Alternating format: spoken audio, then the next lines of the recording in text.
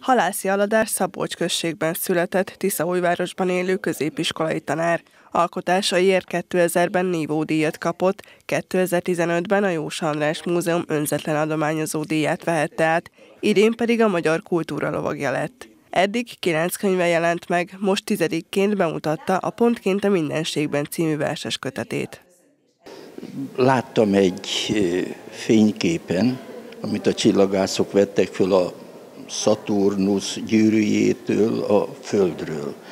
És hát egy olyan kis gombostű fejnyi volt ez a Föld, és így jött a címe annak a kötetnek, amit már tulajdonképpen megcsináltam, hogy pontként a mindenségben.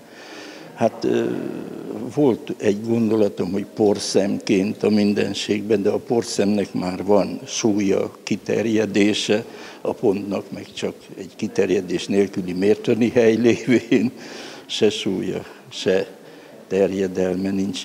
Ezzel az ember meg a föld kicsinségét és a világ nagyságát akartam jelezni, és hát ez vonul végig az egész köteten, de nagyon változatos témákkal, nagyon változatos műfajokkal, de persze a lírai műnemen belül maradva. És hát ebben vannak ö, hazafias versek idézőjelbe téve, régen ezt a kategóriát használták, amelyek a hazához, a társadalomhoz való viszonyt taglalták erre a tematikára. Aztán vannak családi témájú versek benne, vannak szerelmes versek, öregkori versek, hajkuk, benne ez most divat a japán. Nem azért csináltam, mert divat, hanem mert kihívás. Azért egy sor hajku meg, van benne fordítás is, aztán aforizmák. Ez már, ez már a harmadik ilyen kötet, amiben aforizmák vannak.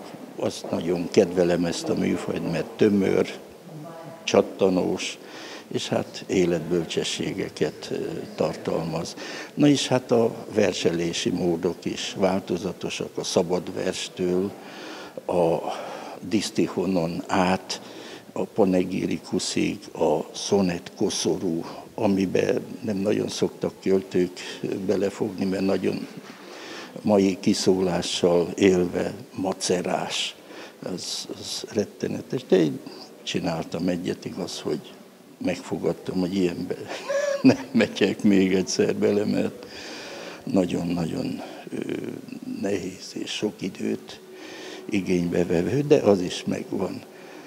Hát a Comenius meg a Kazinci Társaság, ez egy tudós társaság tagjaként róluk is, Kazinciról és Comeniusról is vannak benne versek. Ezek egyféle ilyen példaképek, és hát a Kazinci költői és nyelvész útját követve, aztán Comeniusnak ezeket a az itt magyarországi ténykedését nagyon elismerve, terjesztve hát a vers formájában kíséreltem meg. Hát aztán, hogy sikerült, azt el kell olvasni majd. És hoztam azokat a köteteket, amelyek még megvannak nekem, egy-két példányban, de van olyan, amelyikből van 15 is még, és aztán itt ki vannak állítva, meg odabent is van még egy néhány. Az utóbbi két verses kötetemből több van, de abból se olyan sok már. Ez a mostani kötet, ez hány verset tartalmaz, és mennyi idő alatt készült el? Ezt nem számoltam, hogy hány verset. Hát, hogyha a hajkukat versnek, külön versnek, mert külön versnek kell tekinteni, akkor sokból áll. Egy vékony füzet, de az a hagyományos, az hát van vagy, van vagy 80 vers benne, de a hajkuk még külön, meg, meg a fordítás, meg stb. Hát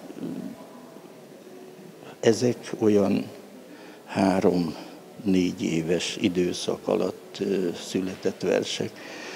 Inkább eszéket írok, nem verseket. A versek olyan köztes műfajok nekem, de hogyha abba kívánkoznak érzelmek, gondolatok, akkor versformát öltenek, és így születtek. Viszont jövőre, márciusra meg kell mutatnom azt, hogy csináltam egy, egy eszélykötetet, mert már kaptam is rá egy kis pénzt, és most ez szorít, hogy be kell mutatnom. Együtt akartam a kettőt, de nem tudtam elég anyagit hozzá szerezni, és akkor így külön kellett megjelentetni. De már az is készen van nagyjából, csak össze kell szerkeszteni, amit nem én csinálok persze. Nagyon változatosak a témák, kiknek szól ez a kötet? Kiknek?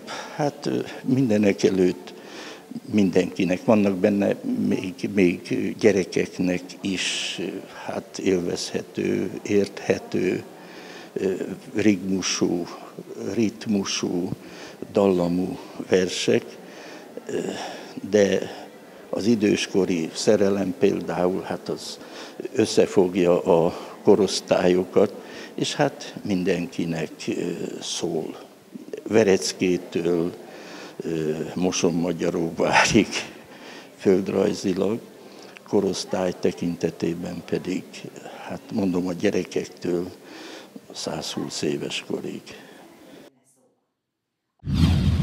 Thank you.